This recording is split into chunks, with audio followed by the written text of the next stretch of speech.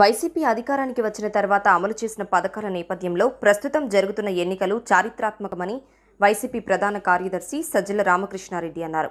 ఎన్నికల ప్రకటన నేపథ్యంలో ఆయన మీడియాతో మాట్లాడారు. గ్రామాల్లో పాలక వర్గాల అవసరం పెరిగిందన్నారు. స్థానిక సంస్థల్లో ప్రజా ప్రతినిధులు ఉంటే మరింత అభివృద్ధి జరుగుతుందన్నారు. జగన్ అధికారానికి రాగానే తొలి అడుగు వేసి గ్రామాల్లో పాలనా వ్యవస్థను పటిష్టం చేశారన్నారు.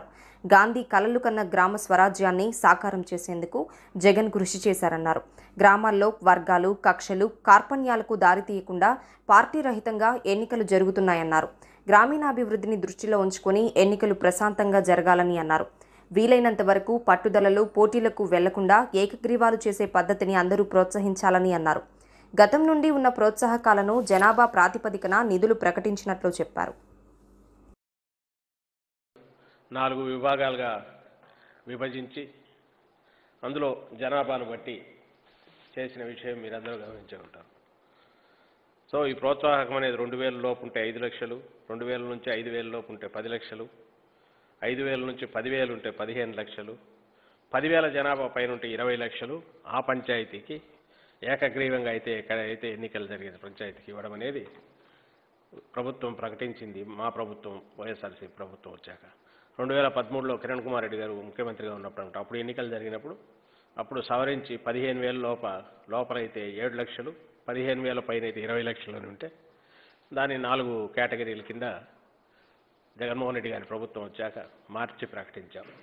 అంటే దీని ఉద్దేశం దీని స్పిరిట్ దీని స్ఫూర్తి ఏంటంటే అయ్యా మీరు ఎన్నికలంటే వచ్చే ఖర్చు ఎన్నికలంటే వచ్చే పట్టుదలలు ఎన్నికలంటే వచ్చే గొడవలు కలిసి ఉండే అన్నదమ్ములు లాంటి వాళ్ళు కూడా కొట్టుకోవడాలు అవి కంటిన్యూ కావడాలు ఫ్యాక్షన్లుగా మారడాలు ఈ న్యూసెన్స్లు హింసాత్మక సంఘటనలు వచ్చి.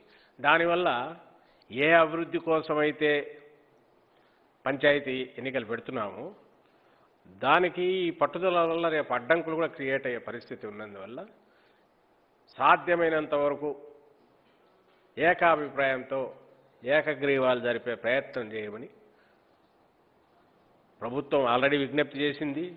అందుకోసమే ఈ ప్రోత్సాహకాలు కూడా మరింత పెంచి ప్రకటించింది గతంలోనే. ఇప్పుడు కూడా ఏకగ్రీవాలు ఎక్కువ జరగాలనే ఉద్దేశంతో మళ్ళీ తదుపరి ఆ ప్రచారం కూడా కిందికి తీసుకుపోవాలని ఈరోజు రేపు జీవో కూడా మళ్ళీ ఇంకోటి దానికి అవసరమైన దాన్ని స్ట్రెస్ ఇచ్చి దానికి తగినంత ఇష్యూ చేయబోతుంది.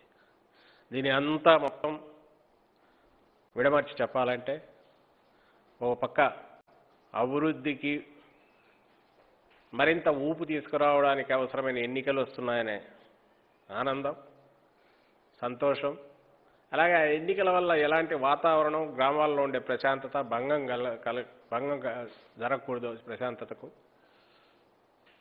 మరింత సుహృద్భావ వాతావరణం రావాలనే ఉద్దేశంతో ప్రభుత్వం దీన్ని ఎక్కువ ప్రచారం లేక తీసుకురావాలని భావిస్తోంది. మా పార్టీ వైఎస్ఆర్ కాంగ్రెస్ పార్టీ ఇందులో ముందుండి పార్టీ తరఫున అప్పీల్ చేస్తున్నాం. మిగిలిన పార్టీలకు కూడా. ఎక్కడ ఎవరున్నా పార్టీ రహితంగా కాబట్టి దానివల్ల ఎవరికి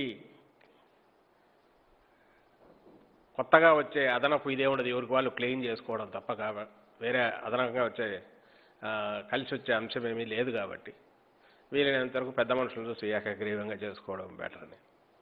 రెండవది ఈ ఎన్నికల్లో అంటే అధికారంలోకి వచ్చినప్పటి నుంచి మీరు గమనిస్తే జగన్మోహన్ రెడ్డి గారు ఆ ఎన్నికలు జరిగే టైంను తగ్గించడంతో పాటు ఈ ఎన్నికల్లో ఎలాంటి హింస కానీ ఎలాంటి ప్రలోభాలు కానీ ఉండకూడదనే ఉద్దేశంతోనే గతంలోనే దానికి అవసరమైన చట్టంలో మార్పులు చేసిన విషయం కూడా అందరికీ తెలిసింది.